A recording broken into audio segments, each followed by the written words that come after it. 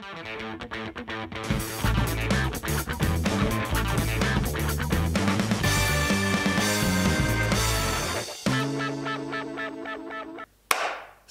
všetkých hamburgerové deti. Dnes sa budeme baviť na extrémne aktuálnu tému. Extrémne extrémistickú tému o tom, prečo ľudia volia, ako volia.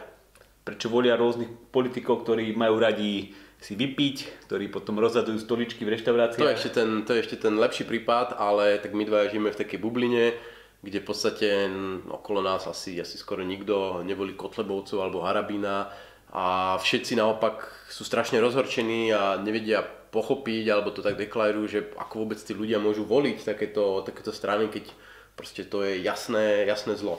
Ale veda má odpovede na všetky otázky. My máme vedu a Briana Keplena, ktorý napísal úžasnú knižku Mýtu z racionálneho voliča, kde si dal práve za úlohu vysvetliť to, prečo demokracia má nejakú tendenciu generovať rôzne extrémne výsledky a prečo ľudia volia politikov a nejaké ale aj riešenia, ktoré my takí vzdelanejší ľudia považujeme za e, veľmi hlúpe a častokrát naozaj aj vedú k nejakým nezamýšľaným dôsledkom a škodia tým samotným ľuďom, ktorí, ktorí volia týchto politikov a tieto riešenia.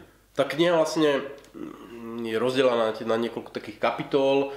Uh, on tam hovorí o nejakých bajsoch, že ľudia sú už, ja neviem, či z definície, alebo ako to on vlastne vysvetlil, či biologicky? Nie, nie, uh, on to vysvetľuje tak, že pozrel sa najprv, aké názory majú ekonomovia na nejaké ekonomické témy, kde sú experti a kde môžeme povedať, že aspoň sa približujú k pravde. Čiže medzinárodný obchod, povedzme.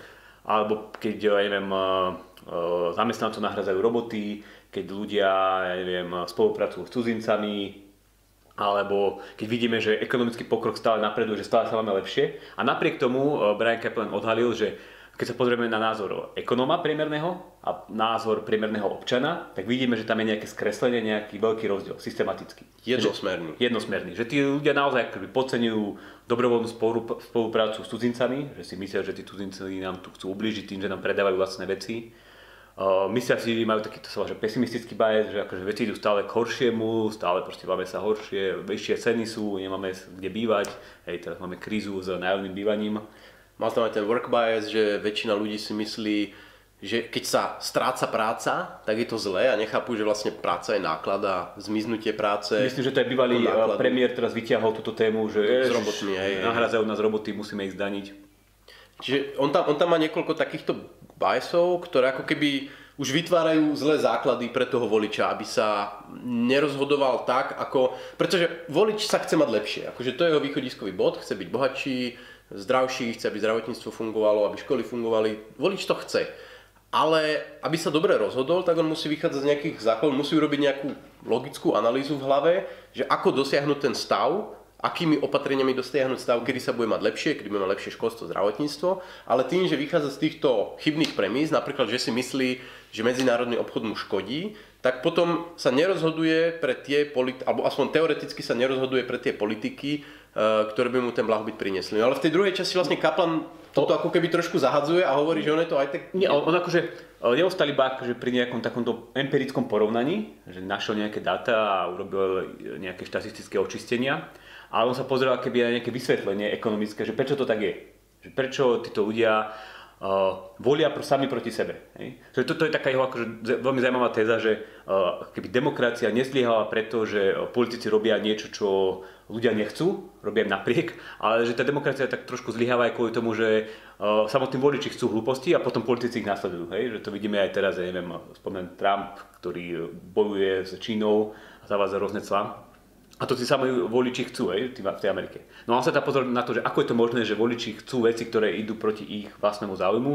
A teda prišiel s teóriou racionálnej iracionality a vlastne tvrdí, že mm, v tej demokracii je veľmi lacné uh, prepadať predsudkom svojim a voliť uh, iracionálne a emočne. Že jednoducho tam ten človek, keby odozdá hlas a, má nejaké svoje iracionálne presvedčenie, ale nič to nestojí. Hej? A také dobré porovnanie je s akby, voľbou, povedzme, že na trhu. Zoberme si nejakého, neviem, Mariana v Bombere, ktorý pocíti hlad a chce sa nájsť. A teraz sa rozhoduje, že kde sa pôjde nájsť. A rozhodne sa úplne podobne ako napríklad my dvaja, že pôjde na kebab. Hej? Lebo chutí mu proste kebab, má rád proste mesko, tam tu nejakú oblohu a rozhoduje sa akoby racionálne, že uh, ide ako keby po tom, že hľada správne prostriedky, ako naplniť svoje ciele. Ale keď Marian Bombere sa začína rozhodovať v tej politike a tom politickom trhu, z pohľadu voliča, tak odrazu e, si môže dopriať e, taký názor, že poďme zakázať e, Turkom vstup na Slovensko, lebo sú to nejakí imigranti, ktorí nám chcú ubližiť. Hej? A teraz odrazu keby volí úplne z ekonomického pohľadu nesprávnu politiku a škodí de facto aj sebe, lebo keď tu nebudú tí, povedzme, Turci alebo nejaké, neviem, Pakistanci, tak jednoducho nebude nám mať kto robiť kebab. Takže on ako keby taký trošku schizofrenický, že na tom politickom trhu, na tej politike volí nejak emočne, nacionalisticky, ja neviem ako, ale na druhej strane v tej súkromnej voľbe, tam sa akože rozhoduje racionálne, že proste chcem kebab, tak idem aj k tomu uh, Turkovi. Ja, ja sa priznám, že ja som tú knihu čítal, ale Robo je väčší expert na Kaplena, nakoniec už sme tu aj v, oni x dielov dozadu rozoberali inú jeho knihu, preto ja sa skôr budem tak pýtať, lebo si to už dobre nepamätám. Ale v princípe teda on hovorí, že e, ty máš ako keby emocionálny výnos z tej voľby, že volím národne a volím toho, lebo to je chláp a vie si vypiť alebo podobne. A zároveň nenesieš, veľmi minimalisticky nesieš tým, že tvoj hlas je jeden z 3-4 miliónov, nesieš tie reálne náklady tejto voľby, to znamená, že sa budeš mať horšie. Čiže ako keby pre voliča je racionálne voliť na základe svojich emócií a nie na základe informácií. Áno, toto je taký ten klasický problém demokracie, že jeden hlas vlastne nerozhoduje, a že ty vlastne svojim rozhodnutím nijak neovplyvníš eh, chod dejín. Hej? Že teraz si predstavte, že neviem, možno, že ste boli voliť pred 4 rokmi a predstavte si paralelný vesmír, kde by ste nešli voliť. Tak v zásade ten svet by vyzeral pravdepodobne rovnako. A to vlastne akoby diskontuje uh, tie náklady a výnosy z tej voľby. Že jednoducho ono akoby, akoby nehrá rolu. Hej? Že, uh, áno, politika ovplyvňuje váš život, ale vy až tak veľmi neovplyvňujete uh, politiku. A toto je akože problém tej demokracie. Hej? Že uh, keby voliť informovanie a racionálne a neviem, na základe nejakých hlbokých úvah je vlastne poskytovanie verejného statku. Že ty poskytuješ niečo akoby tým ostatným ľuďom, aby sa mali oni lepšie, ale tebe to nejak moc život neovplyvní. A ty zároveň musíš niesť tie náklady toho racionálneho rozhodnutia. A to je ešte, ešte jedna taká dôležitá myšlienka, ktorú tam akoby Kaplan tak predpokladá, a to je správne, čo si vlastne aj ty povedal, že ľudia nemajú názory iba ako nejaké prostriedky, ako dosiahnuť ciele, ale tie samotné názory sú samé ciele o sebe. Hej, že mať, že ľudia keby nechcú vedieť pravdu, ale oni chcú mať pravdu. Hej, že oni si chcú potvrdiť to, že áno, tí proste e, ľudia z Turecka nám tu chodia kradnúť prácu a, a nahradzajú naše reštaurácie. Že, že oni majú keby takýto predsudok a snažia sa ho cez tú politiku naplniť. No ono, ono je to, môžeme si to predstaviť ako fandenie fotbalovým klubom, kde tiež to nejaké racionálne, že teraz si zoberiem tabulky, vyrátam, ktorý klub e, má šancu zvíťaziť v lige a tomu idem fandiť ale jednoducho mám tam nejakú citovú väzbu, nejaký citový vzťah. Je to tomu... trochu aj náhoda, kde som sa narodil? Áno, je to samozrejme nejaká náhoda, že pri tej politike je to teda nejaké rodinné väzby, nejaké v práci, kamaráti, že chcem jednoducho zapadať a mám teda vybraných nejakých tých svojich favoritov. V niektorých krajinách, ja neviem, v Amerike proste demokrati, republikáni, tam je to pomaly uh, vyrazené do genómu tých ľudí. U nás je to, sa to viac tak prelieva tým, že je to také roztrieštené, ale stále že ľudia, ktorí majú vybrať tú nejakú stranu, len pomaličky sa presúvajú uh, tie stranie. Čiže je to taký emocionálny vzťah. A on to vlastne hovorí o tom, celá tá teória, že tí ľudia, ktorí volia nejakú tú, povedzme, že extrémnu pravicu, čo v skutočnosti dá nie pravica, ale uh, povedzme, že volia nejakého harabina Kotlebu, tak to akože nemusia byť nejakí a priori zlí ľudia, ktorí sú fašisti a teraz to ide hajlujú, ale jednoducho iba majú takú nejaký, povedzme, že strach, majú nejaké také nacionalistické presvedčenie a uverili tomu, že ten človek v bombere im s tým pomôže. A ono nie sú hlúpi, pretože v podstate sa racionálne rozhodli, že nejdu nejakým spôsobom investovať čas a skúmať detaily tých, e, tých ľudí, pretože to, že oni do toho investujú, im absolútne nič neprinesie. A možno, že paradoxne, že toto sú takí ľudia, ktorých politika týchto strán by najviac uškodila. Hej? Že to sú povedzme takí ľudia, ktorí sú taká nejaká stredná, nižšia vrstva, majú nejaké možno, že nie úplne najvyššie vzdelanie. A keby sme tu teraz tých zahraničných investorov vyhnali všetkých a zakázali vstup zahraničného kapitálu, tak títo ľudia by asi naozaj veľa tratili. Ja dokonca e, poznám príklad človeka, ktorý sa v prezidentských voľbách rozhodoval medzi Čaputovou a Kotlebom a vôbec mu to akože neprišlo divné. Jednoducho, on to vníma len ako cez nejakú tú ten obraz toho, že toto je taký ten chlapák rázny, ktorý o tom rozhodne, toto je zase tá príjemná pani s takým tým materským citom a vlastne rozhodujem sa medzi týmito dvoma že, že je to vlastne zmena oproti tomu, čo je dnes, he, že tam boli nejakí starí hey, je, to, je to proste ako nejaký taký ja neviem, obraz iba, že nie je, to, nie je to niečo konkrétne, nejaké konkrétne opatrenia. Alebo Ale aby sme nerozprávali iba o tých uh, zelených uh, ľuďoch, ktorí volia zelených mužičkov, tak toto isté vlastne platí aj pre nás všetkých ostatných, tak trošku, hej, že to platí pre tých ľudí, ktorí volia nejaké liberálne strany, konzervatívne strany, ja neviem, uh, stredové strany, že každý si tam akoby nájde nejaký ten svoj uh, predsudok, nejakú tú svoju emociu, ktorú mu tie strany dokážu akoby sprostredkovať. To znamená, že akceptujeme aj tak akože prižmurujeme oči, aj keď tam majú niečo v programe, alebo čo až tak možno s tým úplne nesúhlasíme, alebo ich predstavitelia urobia niečo, tak máme tendenciu to obhajovať. To je bez ohľadu na to, proste, či PSK, Saska, Kotlebovci, KDH, v podstate každý... Máme ten svoj klub? Každý má ten svoj klub, ktorému viac alebo menej odhodlane fandí. Samozrejme skupina ľudí, ktorým je to úplne jedno je skupina ľudí, ktorá je viac prelietavá, ale ako tie preferencie tých strán sa menia len veľmi pomaly. Takže to nie je, že teraz by sa e, e, prezentovali volebné programy a zrazu by sme v prieskumoch videli, že sa to všetko úplne preskúpilo, rozhádzali sa percenta všetkými smermi. Ako oni môžu, čokoľvek sa stane, tak vždy to tými preferenciami zahybe len pomerne málo, pretože tí ľudia jednoducho, my všetci máme, máme do toho zainvestovať. Hey, teda, tí ľudia nejako prelietajú, ale vidíme, že na Slovensku, keď si zoberieme históriu, tak tu akože nevyhral voľby nikto iný ako iba Mečiar a, a Fico, hej, zo Smeru. A Zurinda. Ale ako myslím, že by vyhral voľby, že strana, ktorá najviac získala Aha, percent. Tak, jasne, že proste tu akože vždycky vyhral voľby v tom zmysle, že mal najviac percent, iba títo dva ľudia, hej, že teda to sú akéby ľudia, ktorí nejak, nejakom šiku sa držia. Hej. Možno, že teraz to bude prvýkrát inak, uvidíme, ako to dopadne. Ale teda dostaneme sa k tomu, že čo vlastne s tým, lebo vidíme, ako zadefinujeme si problém, že všetci chceme sa mať lepšie a zhruba ako tie, tie veci blahobytu a fungovania nejakých inštitúcií máme tie predstavy rovnaké a zároveň máme ako dramaticky rozdielne názory, ako to, ako to dosiahnuť a niektoré, dovolíme si povedať, že objektívne e, neprispievajú k tomu, aby sme tieto ciele dosiahli. Ja teda čo s tým? Hej, tu sa vlastne bavíme iba o tých témach, kde my ako ekonomovia vieme niečo povedať. Že my nevieme, aké by v nejakých tých hodnotových, eh, etických otázkach sa rozhodnúť, čo je správne, ale keď sa teda bavíme o tom blahobite a ekonomike, tak tam my ekonomovia približne vieme, že ako by sa, aká politika by sa mala voliť a vidíme, že tí ľudia nie vždy na to reflektujú. Teda ak, pýtame sa teraz, že ako toto vyriešiť, ako tých ľudí presvedčiť, aby, aby povedzme sa zdali tých svojich predsudkov. No nič, my povieme, čo si my myslíme, ako to zmeniť. Má na to nejaký názor kaplan? Uh, Kaplan tam navrhol viacej, viacej vecí, že vlastne ako k tomu uh, postupovať. O takých trošku viacej bizarnejších, že povedzme zavedenie nejakého voličáku, teda že by, že by mohol voliť iba ten, kto prejde nejakým testom, alebo, alebo teda ten, kto si pozrie naše video na vršku. My by sme tu dávali pečiatky, je, že kto môže zvoliť. Kto absolvoval všetky videá. To by asi neprešlo. Hey.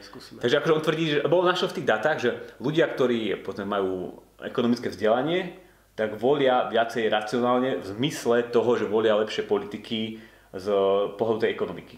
Že jednoducho e, nie sú tak proti e, medzinárodnej spolupráci a bla, bla, bla, toto všetko ostatné. Takže to je prvé také akože riešenie, ktoré asi nie je úplne optimálne, lebo hej, No hlavne e, musíš určiť toho, kto by rozdával tie pečiatky. A Však hovorím, je, to sme my. To sme pokiaľ my. to nebudeme my, tak je tam obrovské riziko, že nezvolí tých správnych voličov. Hey, hey, takže toto je prvé riešenie. Uh, Druhé také riešenie keby rozbiť trošku tú demokraciu na nižšie úrovne, teda decentralizovať. Že jednoducho, keď eh, ľudia eh, volia na úrovni povedzme, obcí alebo nejakých samozpráv, regionov, tak uh, poznajú bližšie tých politikov, je tam povedzme, že tá nižšia informačná asymetria, hej. Uh, taktiež môžu viacej voliť nohami. Hej? Že keď volím v obci a vidím, že sa tam stal starosta nejaký úplný šialenec, tak možno, že keď sa budem rozhodovať, že idem sa teraz odsťahovať alebo idem hľadať nejakú prácu, tak sa odsťahujem niekde vedľa alebo pôjdem inde, lebo tam ten politik robí zlé veci. Ale akože odsťahovať sa do Slovenska je už trošku náročnejšie, ako odsťahovať alebo ako, ako sa presťahovať v rámci Slovenska. To znamená, aby sme si nevolili jedného potenciálneho diktátora, Hej. ale radšej 150 menších diktátorkov, kde akože v nejakých častiach, regiónoch, obcí alebo čo si vymyslíme, to môže vypaliť zle ale stále tu bude zvyšok krajiny, ktorý bude povedzme priemerný alebo nadpriemerný a budú tu tí lepší. A, a potom bude rýchla spätná väzba. Sme to videli aj v Banskej Bystrici, je, že tam akože raz zvolili trošku e, divoko, ale potom e, dopadlo to tam dosť zle, akože z pohľadu toho samozprávneho kraja, že ako bol riadený a tu ľudia akože mali spätnú väzbu a hneď to keby napravili. Ale mať spätnú väzbu na úrovni Slovenska už je trošku zložitejšie, hej, že Slovensko je veľká krajina, ekonomika sa nejak vyvíja a ťažko povedať, že teraz tento politik môže za to, že sa toto zhoršilo. Tým už vlastne prechádzame asi aj do tých našich riešení. Mm. Na, toto, na toto viac menej nadvezuje možno aj taká trošku snaha rozbiť ten pátos politiky, že aby sme si vyslovene nevyberali tie fotbalové kluby, ktoré sa volajú politické strany, ale aby to bolo viac decentralizované, viac rozmernené na konkrétne mená a zároveň, aby tam... A, a, možno, že akože, to si povedal dobre s tým pátosom, že keby zbaviť sa také tie predstavy, že máme tu iba dve možnosti, že buď sa bude rozhodovať demokraticky, alebo nejak uh, nedemokratická diktatúra, že to sú akože dve možnosti, že uh, ktorý, medzi ktorými si ľudia musia vybrať. Ale v skutočnosti existuje tretia možnosť a to je nejaká slobodná voľba na trhu alebo nejaká súkromná voľba. Že jednoducho ľudia nemusia rozhodovať, ja neviem, o školstve tým, že budú hľadať správneho ministra, ale ak naozaj zavedieme nejaké prvky trhu do toho školstva, tak sa budú rozhodovať tým, že budú si voliť akéby školu, ktorú chcú a to bude to ich rozhodnutie o školstve. Ne? Tam je ten krásny príklad toho náboženstva, že 300-400 rokov dozadu Jasne. politika bola aj o tom, aké náboženstvo budeš mať, lebo no, to môžeme nazvať politikou. Tvoj feudál vlastne rozhodoval o tom, aké budeš mať náboženstvo dnes je voľný trh s náboženstvom, každý si môže vybrať, čo chce, politici do toho žiadnym spôsobom nezasahujú, dokonca nemôžu zasahovať. Je to súkromná voľba? Je to kompletne súkromná trhová voľba. Uh, a čím viac takýchto volieb budeme mať, tým menšiu budú mať politici rozhodovaciu moc nad našim životom a tým menšie bude riziko, že sa tam dostane niekto na základe týchto emocionálnych rozhodnutí voličov, ktorý potom bude Eh, bude robiť škodu. Je to nižšie riziko a zároveň keby presunieme tú moc z tých rúk eh, voličov, iracionálnych, ktorí si naplňajú nejaké svoje predsudky, do rúk spotrebiteľov, ktorí sú oveľa racionálnejší. Lebo keď sa rozhodujem ako spotrebiteľ, tak tam už eh, zvažujem, čo má pre mňa výhody, nevýhody, lebo tá moja voľba priamo dopada na mňa. Priamo rozhoduje o tom, že čo, čo dostanem, či teda kebab alebo nejakú pizzu. Čiže viac spotrebiteľov, menej voličov. Presne tak. Lebo Chceš dodať? Chcel som akože sa dostať keby už tej poslednej najmenej radikálnej časti, že ako to nejak trošku uh, riešiť, ale ty si chcel ešte niečo predtým? No asi sa chceme baviť o tom istom a rozdelenie. Uh, nie, nie, tak nie? Ešte, oh. ešte, ešte, ešte, ešte jeden taký medzistupeň. Uh, išli sme tak, od takých najviac radikálnych, tým menej radikálnym a povedzme tak najmenej radikálna, alebo radikálny spôsob, ako trošku zviazať ruky tým politikom, je zaviesť nejaké konštitučné pravidla, nejaké ústavné uh, obmedzenia toho, ako sa politici môžu správať. Na Slovensku je taký najznámejší, najznámejší takýto nástroj dlhová brzda, ktorá naozaj reálne akoby bráni politikom extrémne rozhadzovať. Vieme, že mali sme tu teraz jedného uh, politika, ktorý by sa aj chcel veľmi zbaviť a chcel stavať diálnice a neviem čo všetko. A vidíme, že to politikom mu v tom, mu tom zabránil, tá, pardon, tá dlhová brzda. Ďalšie také nástroje sú napríklad uh, výdavkové limity, hej, ktoré bránia tomu, aby politici rozhazovali. Tie ešte neboli e, prijaté, myslím, ale to je ďalší taký spôsob. Ako... Výdavkový limit už, myslím, prijatý bol. Ako teraz nedávno iba úplne, hej, ale ešte platí, No platí tento rok, hej. platí už mm-hmm. tento rok. Uh, ale v podstate bavíme sa o delbe moci, to znamená zase, aby tam boli checks and balances, kde ten politik musí v momente, ak je zvolený, nestačí mu to na to, aby bol teda vládcom nad e, všehomírom, ale musí ešte čeliť aj iným odvetviam spoločnosti, napríklad súdnictvu, hoci na Slovensku to možno není úplne Ale, ale, ale ono to, akoby, to je dobré na tom, že to obmedzuje moc aj tých samotných voličov. že aj volič napríklad v dnešných demokraciách si nemôže zvoliť politiku, ktorá bude obmedzovať e, mino, minority, nejaké menšiny. Hej, že to odrazu sme vyňali z tej uh, demokratickej politiky, ktorá, kde rozhoduje jednoduchá väčšina, do niečoho, čo jednoducho je proste dané, napísané v ústave, že proste menšiny majú nejaké práva. A to je myslím, že je dobrá vec, je to nedemokratická vec, že ne, neplatí tam to pravidlo, že e, dvaja vlci a jedna ovca rozhodujú o tom, čo bude na večeru. A toto je ďalší taký spôsob, ako obmedziť tú demokraciu. A už sa teda dostaneme asi k tomu poslednému, že veľmi často sa skloňuje vzdelávanie, že treba vzdelávať tých mladých, lebo to sme možno nespomenuli, ale to bol jeden z takých tých paradoxov, že voľby dozadu sa hovorilo, treba podporiť mladých, aby išli voliť a nakoniec potom všetci pozerali, že koho tí mladí volili. Uh, takže, a potom teda sa prišlo s riešením, aha, tak mladí prišli voliť, volili nie tak, jak sme si predstavovali, tak treba ich vzdelávať, treba proste na tých školách, tam, tam to zanedbávajú a ja, ja, tam ja, treba ja, ja, teraz, teraz je moderné, že nech volia tí zo zahraničia, že nech volia, nech zvýšime účasť ľudí zo zahraničia. Teraz sa uvidí, že či naozaj to bola keby správna voľba.